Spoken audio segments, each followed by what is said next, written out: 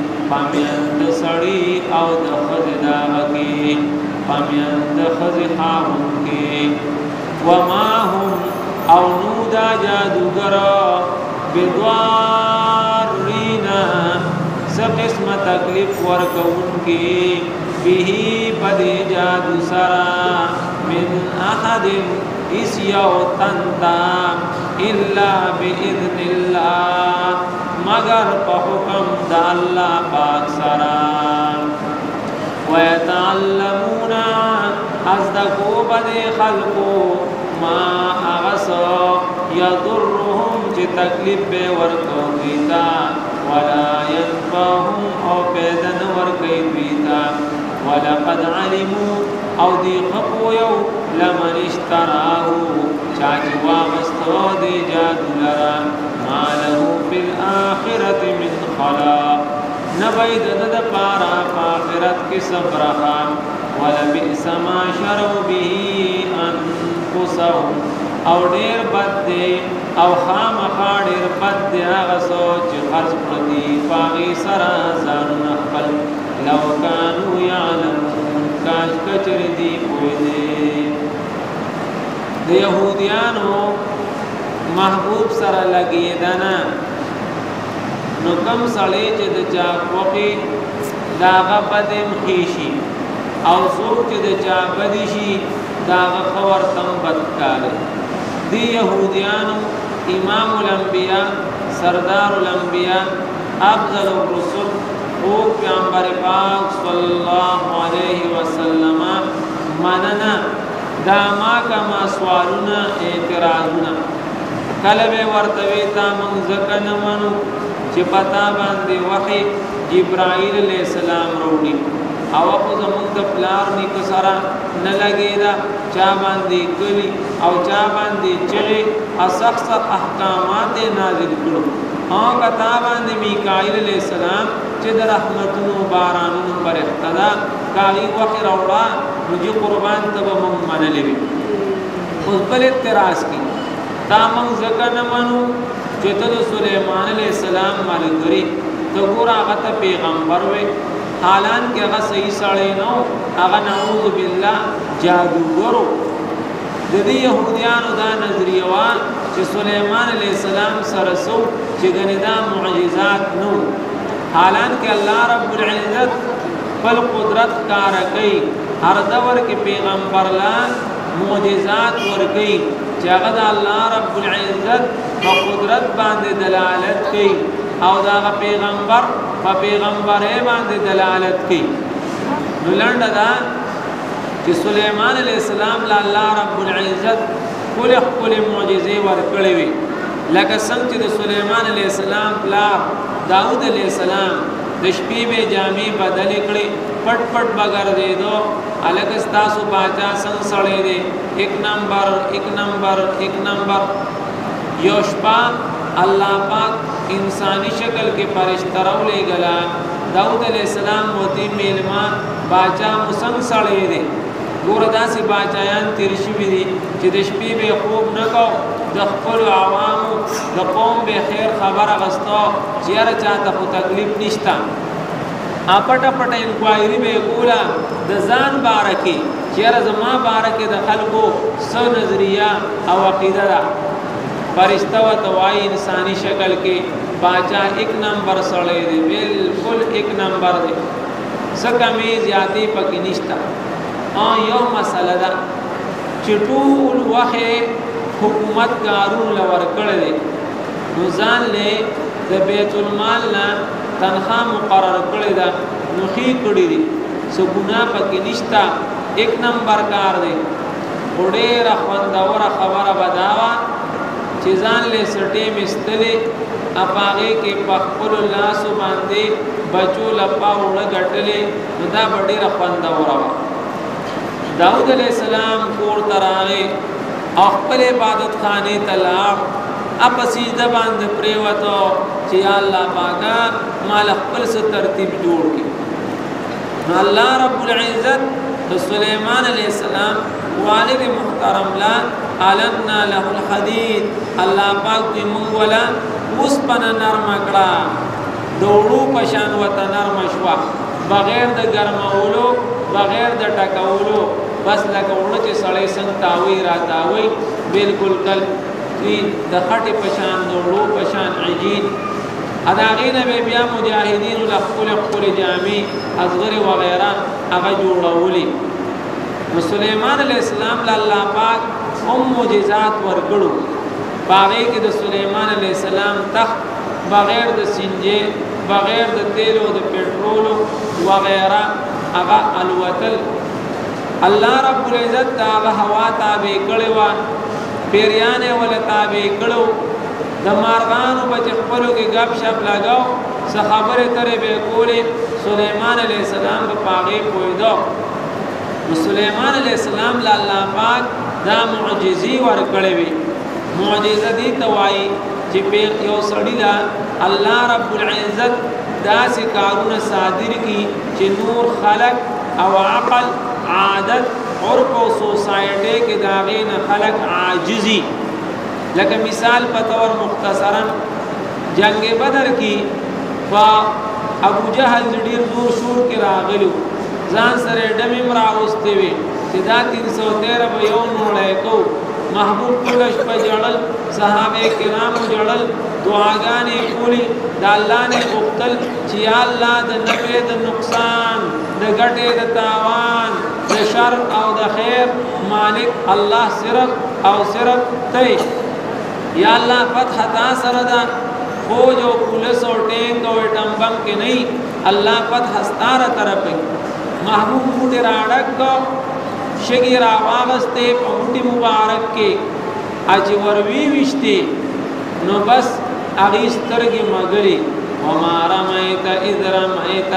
ولکن الله حرما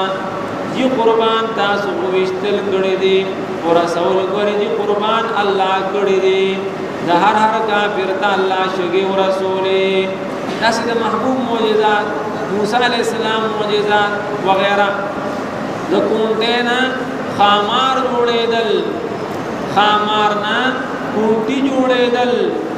اټومیټک موټر وې جوړېدل په دریاب کې یو نه لس نه دولس داغې په میاس کې دیوالونه او کړکی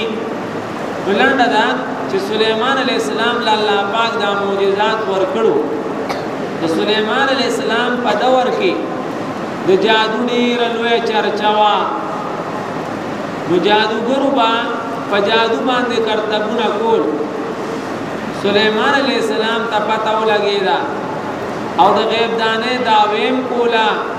نو سليمان عليه السلام هغه جادوګر هغه اول من کړو او چې من کېدل نه نو به جیلونو تواجو او غسور د هغه تصنیفات او تالیفات او کتابونه چې هغه ته ټول ضبط کړو راغونډې کړو ا د خپل تخت لاندې دفن کړو هغه دور کې د جادو هغه چرچه ختم شوه کله چې سليمان عليه السلام د دنیا نه تشریف یوړو وفات شو نو شیطان راغی انساني شکل کې شیطان چې دی دیم شکلونه بدلی را بدلی دا پیریان چې دي دی له الله دا قدرت ورکړی دی یتشکل باشکال مختلفه لکه څنګه چې دارالندوه کې میټینګ کېدو د محبوب خلاف نو شیطان د بابا په شکل راغی نو چې کله سړی به پاسېدو چې یاره دا محبوب ته د تړل غواړي نو ټول وی تړل غواړي چې خلاص شو چې د دعوت او تبلیغ نه کوي بابا به وی سره تړې خپل خپلوانې طاقت ور دي آزاد به کی در بیا یو پاسې دی وی دی په بل کلی ته وشو ټول وی سیده کلی به خالص شیطان چې د بابا په شکل کې په ځان راکې خول نو هاوی رې شروع کو ابو جهل ورته وی بابا ولې وی خوله کې اثر دی چې هلته یې راولېږې ځان له به ګروپ جوړ کړي پارټي به جوړه کړي په تاسو باندې به حمله وکړي ابو جهل وی ناشنا بابا دی دا بابا شیطان په شکل د بابا راغلو جنگ بدر کې هم دی راغلو په شکل د انسان او داسې څومره څومره موقعو کې دی راځي نو دیله الله قدرت ورکړی دی شکل بدلی را بدلی نو قام خطیبا تقریر شروع کا خطیب سیب دی دا سه حدیث شریف مفهوم دی اخر دور کې با یو سړی راشي خلکو ته به تقریر وکي خلک به وی لکه کوي وینو پیجنوي خو نور نوم نشانه پتن لګي چې د کم ځای راغلی نو لنډه دا چې شیطان راغی او خلکو ته تقریر وکړو چې خلک تقریر کوره نعوذ بالله سليمان عليه السلام چې وو نعوذ بالله پیغمبر نو دی جادوګرو ادا چې سوره سو کنه نو د جادو په زور باندې کول اګه په مام یقین نه نو زدا زیب وکنو اغه زه چې وکنهستو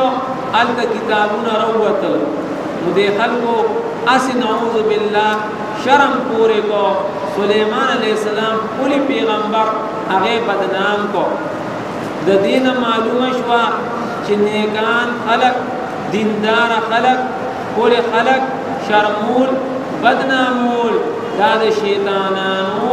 او د يهوديانو کار دی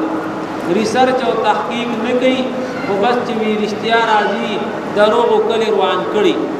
الله رب العزت داغه جواب کوي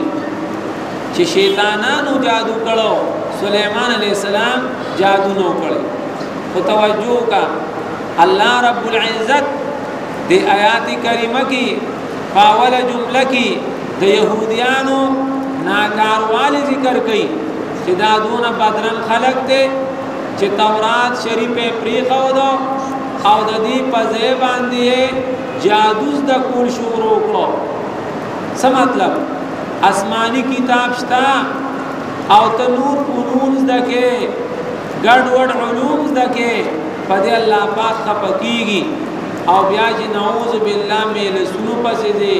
او غانو بجانو سندرو دمو پسې دي دا خو نور د خپکان خبره ده تو ګور وتبعو ادا خلق لاړو تابع شو ما هغه سپسې تتلو شیاطینو چې لستب شیطانانو که شیطان انسی او که جنی علی ملک سلیمان په زمانہ د باچای د سلیمان علی السلام کې او دی سلیمان علی السلام باندې راړو چې هغه جادوګرو الله پاک داغه جواب کوي وما کفر سلیمان او کو پر نو کړه سلیمان علی السلام لیکن شیطانانو کو پر کړو جادو کړو يعلمون الناس السحر خو ده به دې شیطانانو انسي او جني خلکو ته السحر جادو وما انزل علی الملکین بل اعتراض او داغه جواب تا مونږ ځکه نه منو چې ته مونږ د جادو نه منې کې جادو ته بدوي حالانکه د جادو د خودنې د پاره الله پاک فرښتې را لېږلې وي جواب الله پاک فرښتې د جادو د خودنې د پاره نه وی را لېږلې بلکې الله پاک فرشتې د جادو او د معجزې د فرق د پاره را لېږلې وي ځکه خلکو د جادو او د معجزې په منځ کې فرق ختم کړو مثال د دې داسې دی لکه یو عالم ړ پړون کې دیندار خلکو ته چغې وي بیانونه کوي اے خلک سود مکوي سود مکوي سود مکوي سود څه ته وایي؟ سود دې ته وایي چې سل روپۍ ورکې یک سو دس دې اخلې او ګټل او خرڅول او څه پکې مینځ کې نه و چې پیسې دې مقرر کړي چې سل والا خو هفته پس به ورسره بیا یک سو دس لس به ورسره سیوا راکړي نو د دې مولي صاحب مقصد خدا نه چې داسې کوي اوس چې په دې باندې څوک عمل کوي هغوی ګناهګاران دي الله رب العزت امتحانا بابل ښار ته دا دوه فرشتې رالېږلې وي وما انزل علی الملکین واتبعوا او تابع شو دا خلک هغه څه پسې چې نازل کړی شو په هغه دوو فرشتو باندې په بابل ښار کې چې نومونه هاروت او ماروت وما يعلمان من احد او نه بخود دي چاته څه جادو تر دې چې په نصیحت کې به وي بشک مونږه امتحان جادو مزده کوي کفر مکوي ځکه جادو زده کول دا کفر دی ځکه پای کې د غیر الله نه مدد غوښتلی او نور نعوذ بالله داسې کارونه کولی چې پاغه سره الله پاک خپکیږي فیتعلمون مزدا کول بده خلقو منهما د وجد زد د دواړونه ما هغه جادو یفرقون به بین المرء و زوجه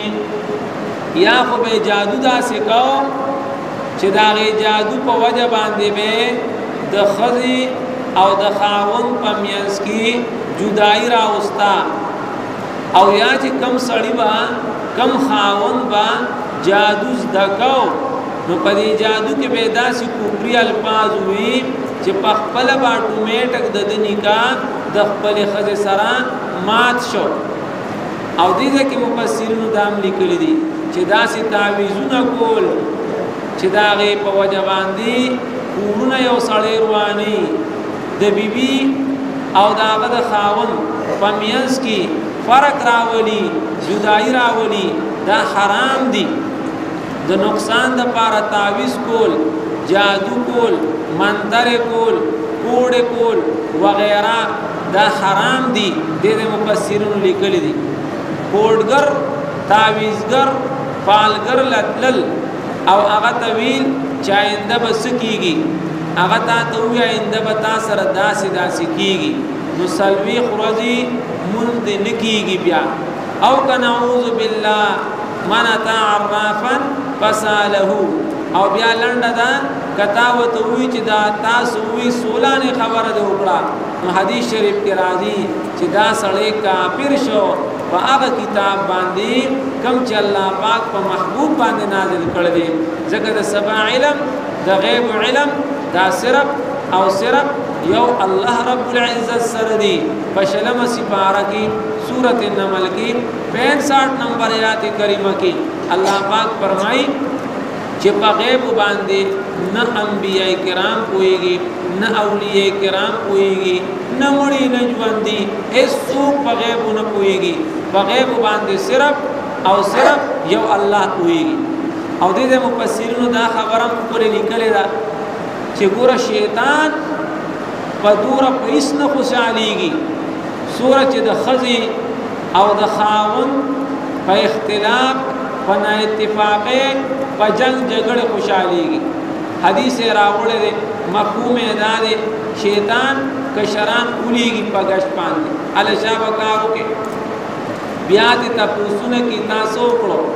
نو څوک ورته وایي ما پلانې د مونږ نه پاتې کو ښځه کېنه تام په کار وکړو پلانې درس نه راغله مې درس نه پاتې کو څه کار مو ته راياد که وسوسه مو ادا تا هم ډېر ښه کار وکړو داسې یو یو ورته وایي یو ورته پاسي چې جی د ښځې خاوند مینس کې ډېره مینه محبت یو بل سره تعلق ما خاوند ته وسوسې واچولې هغه پوه نه شي یک دو تین ابس درې وي اګیسه ختمه کړه جنگ جوړ شو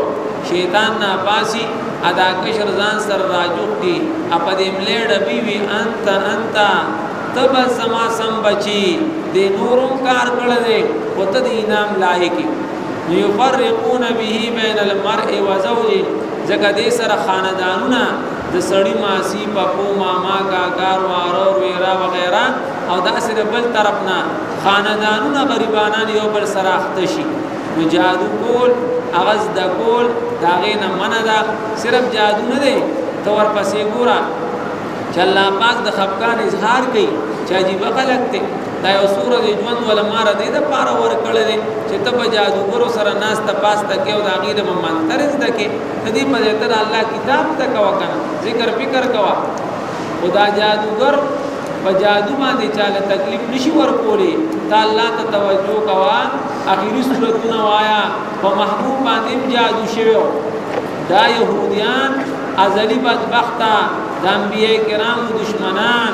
لبید ابن عاصم د خپل لو په ذریعہ د محبوب د وخت مبارک باندې خطرناک جادو کړو یولس غټي ور کړې وي الله پاک اخیری دو سورتونه یولس آیاتونه محبوب به یو یو آیات لستو بدن مبارک سپک شو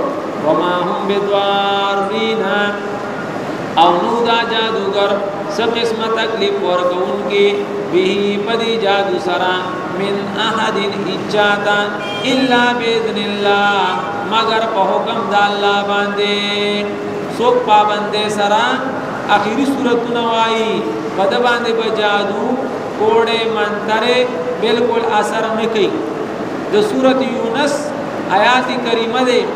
څوک دا وایي ما جئتم به السحر ان الله سيبطله ان الله لا يصلح عمل المفسدين دا وایا جادو منتر کوړې پالونه تعویذونه ګرنډې سره دا بدر باندې اثر نکي او چا باندې اثري هغه له ولیکا ساخه کا دا وظیفه عبد الله ابن عباس رضی الله تعالی عنہما د دې آیات کریمه د لاندې تفسیر قرطبی اغي ذکر کړی دا نو ګورا کومګ او تاسو واړو چې د بد نظرې نه پای په دې باندې نظر لګیدل او دا غي د پارس پیلنی ګول یا نعوذ بالله د ویخ کر لګول په کور باندې څومره د افسوس خبرې دا فلانې میاشت پیره ده دا فلانې ورځ پیره ده دا د فلانی په مخ پاسېدلې د دې ټولو نه منه راغلې ده د کافرانو طریقه دا وه چې واده به کو یا سفر به کو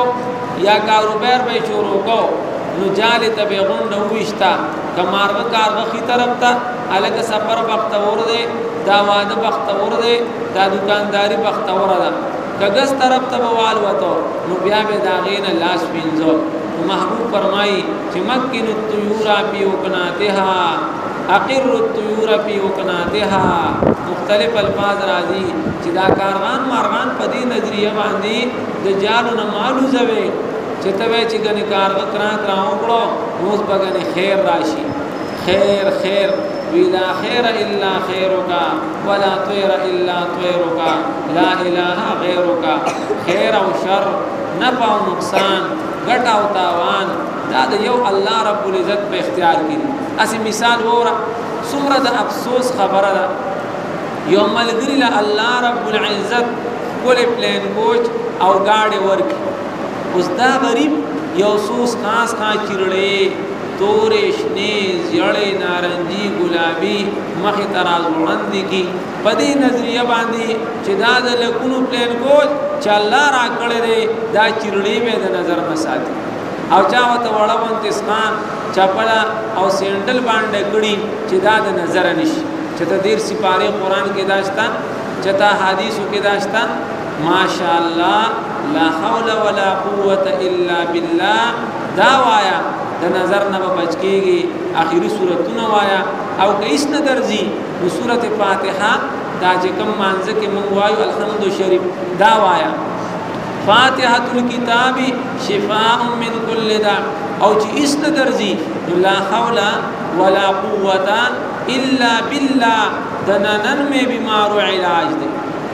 لنډه دا چې دا څه اثر کوي اثر الا باذن الله کوي چې الله پاک پکې اثر چی دعا چی پکې او هغه چې څوک کوي دا کارونه تعویذونه کوي غلط غلط کوړی کوي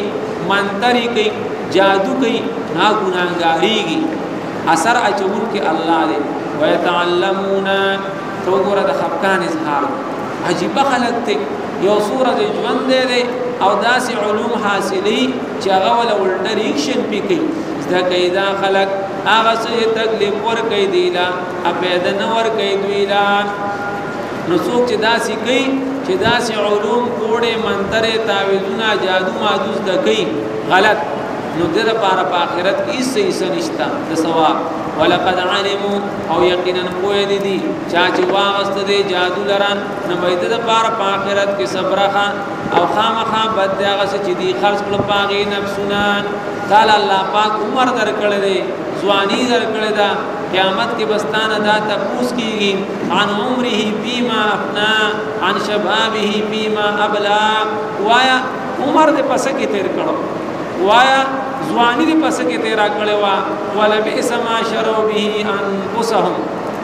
څومره خوان به کوي چې ته وته یا الله ما به موږ کما خام او بیا بل شل منټه ستا کتاب ته مې وغه هو نو بس دا به ان شاء الله ستا په کار راځي لو کانوا يعلمون الله وی کدی پوی دی دی به دا وخت قیمتي کولې دا خو وخت زی وخت چا سره وپانه کی او دا ټول ډیټا ستاسو کیږي قیامت کې به تاله خپله ډیمسي درکړی شي او تا ته وی اقرأ کتابک کفا بنفسک اليوم عليك حسیبا نو آیات کریمه منګ او تاسو له یو څو سبقونه راکې یو سبق خدا راکې چې دی يهوديانو سره تعلق مساته ځکه دا پلار په نکړر بدرنګ خلک ته انبیای کرام بدنام کړی دي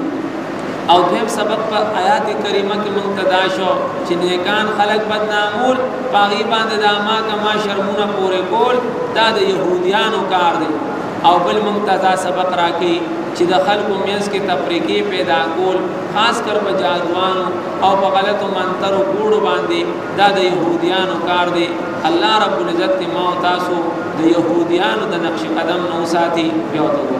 واتبعوا او تابع شو دا خلک د هغه څه چې لوسته به شیطانانو په زمانه د باچاهۍ د سلیمان علیه السلام کې کفر نه وکړي سلیمان علیه السلام لیکن شیطانانو کفر کړو ټول به خلکو ته جادو او تابع شو خلک دا سوچ نازل کړی شو په پرختو باندې په بابل ښار کې چې نمونه هاروت او ماروت او دې دې بعد خلکو یو کیسه جوړه کړې ده نو دا غي ویلو په لوډ سپیکر مناسب نه دي خو صرف د دې لپاره ویمه چې دا بالکل غلطه کیسه ده وی نعوذ بالله فرشتو وی چې الله پاک ګور د انسانانو له تصور عزت ورکه ابیام دی داسې داسې کار کوي وی الله پاک وته چې دې سره نفس او شیطان دی وی فرشتو وته چې زموږ لم راکا وی چې انتخاب وکي وی چې هاروت او ماروت په کې خوښ کړي او دی له نفس وغیرہ ورکو چې خکته رالی نعوذ بالله یو زنانه وی زهران مې او بیا هغه ته اسم اعظم ته چې دا تاسو فرض نو پس باندې زی او بیا نور بلا خبرې دي او بیا وی دي غلط کار وکاو وی هغه زنانه د اسمان ستوري شو او دی په بابل خار عراق کې نعوذ بالله الټا ځوړان دي شي دي کوي کې نو چې سو ویتر نا وخت کوي نو په دې باندې اسانتیا راځي دا ټول دروغ دي ځکه فرشتو بارکه مونږ وایو چې لا یعصون الله ما امرهم فرشتي داسې ښکلی مخلوق دی چې هغوی د الله پاک بالکل د سترګې د رب برابر هم نافرمانی نه کوي هغه تابعدار مخلوق دی له ګناهونو نه پاک او صاف دی فرشتي هغه څه کوي چې د څه ورته الله اډر وکړي وما يعلمان من احد او دی بنه خو دی چاته تر دې چې وبوي چې مونږ په امتحان یو نو کفر مه کوي زده کول به دې خلکو د وجې رزق د دې دواړو نه هغه جادو چې فرق به راوستو په هغې سره په منځ د ښځې د خاوند کې نو دا خلک جادوګر ضرر ورکوونکي په دې جادو چاته مګر په حکم د الله زده کو به دې خلکو هغه څه چې تکلیف یې ورکو دي تا پیدا نه ورکوله دي تا ادي ښه پوهیو چې چا دا واغسته د له په آخرت کې څه برخه د ثواب نه او خامخا بد دی هغه چې دې خرڅ کړه په هغې باندې نفسونه خپل کاش که چېرې دی پوه دی اللهم صل علی سیدنا محمد وعلى آله وعترته بعدد كل معلوم لك یا ارحم الراحمین یا الله دا درس قرآن زمونږ په خپل دربار کې قبول او منظور کړي یا الله پاک زمونږ د ټول ناراضي او خوشاله شي یا الله پاک زمونږ واړه وی پټ کار ګناهونه معاف کړي یا الله پاک زمونږ د ټول ګناهونه په نیکو باندې بدل کړي یا الله موږ ټول خپل مینا محبت تعلق او رضا نصیب کړي د محبوب سره مینا محبت تعلق او رضا نصیب کړي یا الله زموږ ټول مسلمانان مړي یا الله ټول عذاب قبر نو ساتي الله د ټول قبرونه د جنت د باغچونه باغچه وګرځي یا الله قبرونه د خپل نور نه ډکه الله قبرونه د جهنم د کندو نه کند مگر دی یا الله جنت فردوس کې ولا اعلی مقامات نصیب کړي یا الله سونه بیماران دي ټول شفای کامله عاجله نصیب کړي